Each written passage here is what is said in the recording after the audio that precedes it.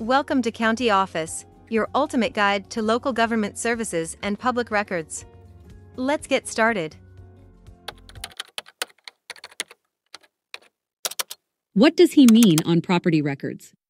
If you've ever looked at a property record, you may have seen the abbreviation HE next to the owner's name. He stands for husband and wife as joint tenants with rights of survivorship. This means that both spouses own the property equally, and if one spouse passes away, the other automatically inherits the entire property. This is a common way for married couples to hold property.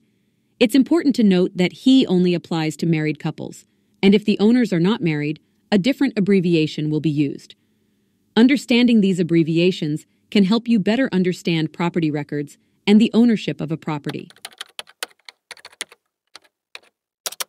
To learn more, check out these links which you can click in the description below, and feel free to comment your questions.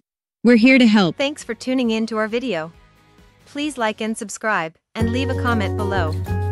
See you in the next video.